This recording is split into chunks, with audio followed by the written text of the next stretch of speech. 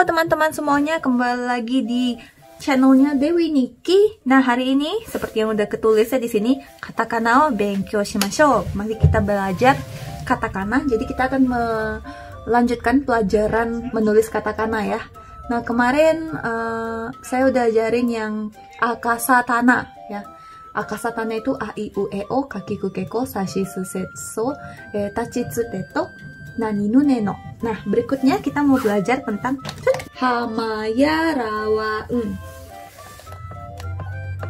Ha ma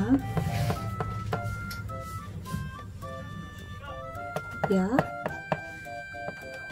ra wa hmm ya nih lihatnya tangannya kedinginan soalnya. Ha ma ya ra wa hmm. ya kayak gini ya teman-teman. Kita mulai dari ha hi fu he ho. Langsung aja. Keren ya bisa hilang. Ha hi fu he ho. Ha hi he. Ya kita masuk dari ha dulu. Ha ini gampang banget ya teman-teman. Kayak tulis lidi buah-buah. Ha satu. Dua. Sekali lagi. Ha ha oke ya berikutnya. Hi satu dua. Dua step ya teman-teman. Sekali lagi ya. Kayak huruf Korea. Annyeonghaseyo. Oke berikutnya. Fu. Ini gampang lagi. Fu. Ya jadi cuma satu. Fu. Fu. Gampang ya Oke, berikutnya. He. He juga ini sama kayak he hiragana ya.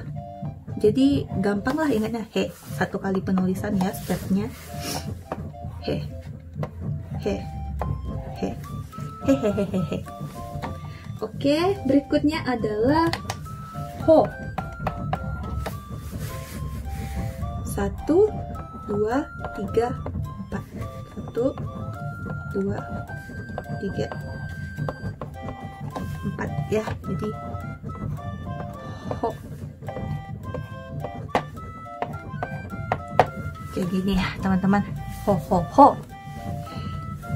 Oke selesai yang ha kita masuk ke ma mi mu me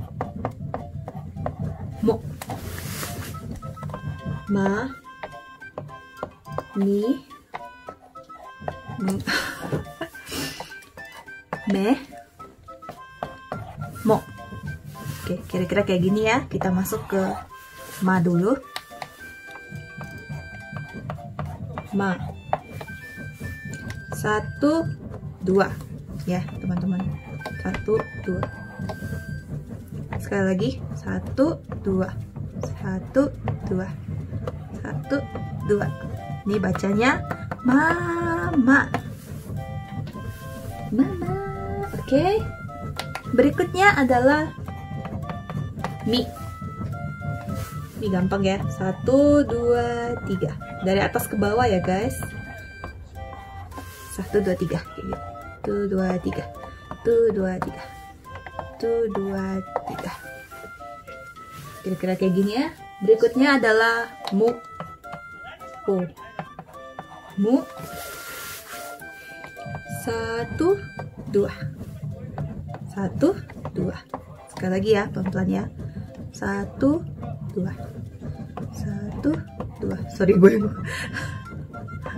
Karena kegedean ya agak susah nulisnya. Jadi mu seperti ini ya mu. Berikutnya adalah me satu. Dua. Dua. Ya gampang ya. Satu dua. Satu dua. Satu dua. Oke berikutnya adalah mo satu dua tiga. Ya jelek banget. Sekali lagi ya guys. Satu dua tiga. Kenapa jelek gini ya oke satu dua tiga ya. Jadi tiga step ya teman-teman. Sekali lagi kita tulis. Seperti yang kalian lihat ya teman-teman yang bagian bawahnya ini agak panjang dikit. Satu dua tiga. Jangan terlalu kepanjangan juga kayak gini ya. Maksudnya dia panjang tapi nggak terlalu panjang sekali. Tapi lebih panjang daripada yang uh, step yang awal. Oke. Okay? nah kalau masih ingat yang me tadi me. Ini bacanya me. Memo. Memo itu yaitu memo apalagi. Memo. Oke teman-teman sekian. Berikutnya adalah ya you yo. Ya you aku nggak bakal jelasin lagi ya kenapa sih nggak ada y nggak ada nggak ada y. Soalnya memang nggak ada. Nggak bakal dijelasin lagi karena udah dikasih tahu ya pas hiragana kalau nggak salah. Nah ini. Ya. Ya. Yuk nah mirip sama hiragana ya. Kalau hiragana kayak gini ya teman-teman. Hiragana ada teng-teng terus ininya lebih kayak bulat gitu. Ya kayak gini. Ini hiragana tapi kalau katakana lebih runcing. Dan gak ada teng-tengnya oke? Okay? gak ada teng-teng. Langsung aja kita masuk ke ya dulu. Ya. Satu dua. Satu dua oke? Okay? ya. Ya Berikutnya adalah you. Satu, dua. Kayak huruf Korea ya ini juga. Satu, dua. Sekali lagi. Satu, dua. Satu, dua. Kayak gini ya. Ini you. Berikutnya adalah yo. Satu, dua, tiga. Satu, dua, tiga. Sekali lagi ya teman-teman satu dua tiga. Satu dua tiga. Kayak huruf e kebalik. Huruf tiga eh kayak angka tiga berarti ya. Kalian ingat angka tiga aja kali ya biar lebih gampang. Mirip ya soalnya. Ini juga kayak huruf Korea ya. Oke yang berikutnya adalah da ri ru de la di ru de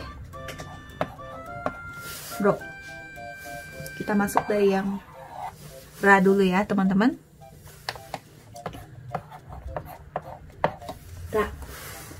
Satu dua. Satu dua. Oke. Sekali lagi. Satu dua. Satu dua ini ra. Ramen ya? Ra. Ramen. Berikutnya adalah ri. Nah ini dia mirip kayak hiragana tapi uh, ada bedanya dikit. Kalau ri nya katakana seperti ini ya. Satu dua. Kalian tahu bedanya apa? Ini katakana ya kalau hiragana dia lebih kayak uh, gini lebih uh, ada lengkuk lengkuknya gitu loh. Ini hiragana ya. Atau begini ini juga ri ini hiragana. Or kalau katakana dia sekali lagi ya kayak gini. Lurus sebelahnya agak bengkok. Kayak gini ya teman-teman. Jangan sampai salah. Berikutnya adalah ah kacau Bro. Satu dua. Ya satu dua. Sekali lagi satu dua. Ada ada cengkukannya di sini. Di belok dia belok. Dulu dulu oke berikutnya adalah re. Re gampang ya. Satu satu kali. Sekali lagi ya teman-teman. Kayak gini. Wih gitu. Dilepasin. Wih gitu ya. Re agak tinggi dikit ya. Jangan ter jangan jangan begini ya. Nulisnya gini ya. Agak ke atas dikit. Oke. Jangan sama juga gini ya. Jangan jangan kayak gini pula gitu ya. Hmm, kayak gini. Kira-kira. Terakhir ro. Bukan terakhir sih. Dari rurero ro yang terakhir. Oke. okay? Ro gampang. Dua tiga. Ya satu dua tiga. Ya sebenarnya sebenarnya yang kayak kayak gini nih tiga kali penulisan teman-teman ya. Sekali lagi ya. Satu dua tiga. Bikin berdiri dulu kotak tutup. Berdiri ludu lah bukan ludu lah lidi. Dua tiga. Jadi kayak gini ya teman-teman cara bikin kotaknya. Ini ro bacanya ro oke. Yang terakhir bukan yang terakhir juga. Wa wa wo hmm, ya teman-teman. Wa wo hmm. oke kita mulai dari wa dulu. Ini yang terakhir ya wa tulisnya satu dua. Ya goyang sorry. Sekali lagi ya. Satu dua. Oke. Okay. satu dua. Dua step penulisan. Sekali lagi kita coba. Satu dua. Satu dua.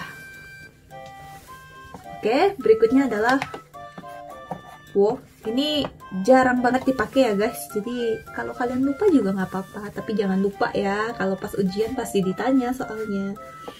Wow satu dua. Jadi dia kayak uh, ini ya. Satu dua kayak fu. Fu kan kayak gini nih tapi dia ditambah garis di bawahnya gitu ya. Jadi ini wo. Wo kayak gini ya caranya nah yang terakhir adalah n n ya tapi dia bacanya eng. Eng bukan n ya. Jadi ini penulisannya gampang. Satu dua. Satu dua. Nah ini jangan salah ya guys. Ini dari dari bawah ke atas satu dua. Satu dua. Satu dua. Nah yang teman-teman mungkin suka salah itu ini kali ya. Uh, so terus mirip sama so ya. Kalau so dia begini terus dari atas ke bawah. Ini so. Kalau en kalau eng itu dia dari bawah ke atas. Jangan sampai salah ya teman-teman. Terus juga buat fukushu ya. Fukushu itu buat latihan lagi mengingat lagi. Shi sama tsu juga beda ya teman-teman. Kalau shi oh salah. Jangan biar lebih gampang kita ubah ya. Sekali lagi ya uh, ini ini tsu ya. Sini shi. Kalau tsu dia satu dua dari atas ke bawah. Ini tsu. Kalau shi satu dua dari bawah ke atas. Nah jangan sampai salah ya teman-teman. Kalau pas nulis biasanya ketahuan. Ingat aja ini kalau dia dari atas ke bawah tulis agak berdiri gitu. Kalau dia dari bawah ke atas miringin gitu. Pertanda yang paling jelas sih sebetulnya ini sama ini. Tentengnya ya tenteng. Tenteng itu ini tenteng teng. Maksudnya titik ya. Oke, kira-kira begitu ya pelajaran untuk hari ini. Next time kita bakal bahas tentang uh, tenteng yang pakai tenteng ya. Ga, gi, gu, dan seterusnya. Untuk hari ini sekian ya teman-teman. Sampai jumpa lagi di video berikutnya. Jane! the way guys, buat kalian yang uh, pengen pelajaran bahasa Jepang lainnya, jangan lupa untuk subscribe, like, dan share video ini ke teman-teman kalian yang lagi belajar bahasa Jepang, oke? Okay? Sampai jumpa lagi di video berikutnya. Jane!